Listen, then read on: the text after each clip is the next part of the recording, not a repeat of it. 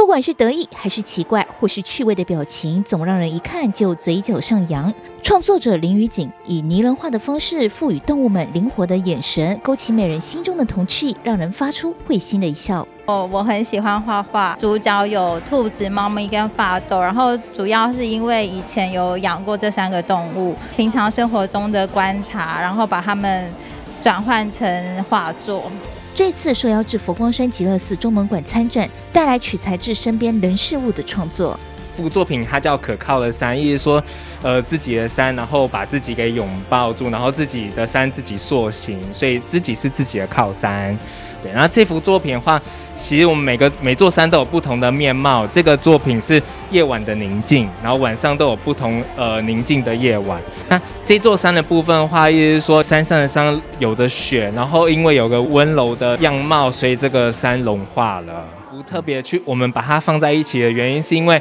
呃这个是呃艺术家艾玛跟他的女儿一起画的作品，华丽的帽子。对，那这个作品的话，就是我的头是意思说，呃，两小无猜，彼此是依赖的情感的呃元素。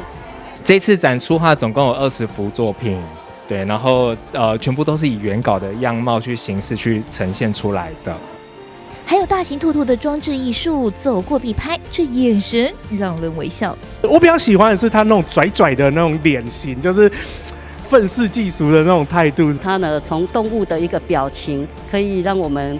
看到、探索到内心里面我们的一些情绪、想法，还有内心的一些秘密。大家看了之后都会会心一笑，好，那也代表我们每个人都有这样的一个天真的心。过年期间，欢迎民众到佛光山极乐寺中门馆看展，拥抱小动物们的幽默，一起把嘴角上扬吧。记者蔡小军采访报道。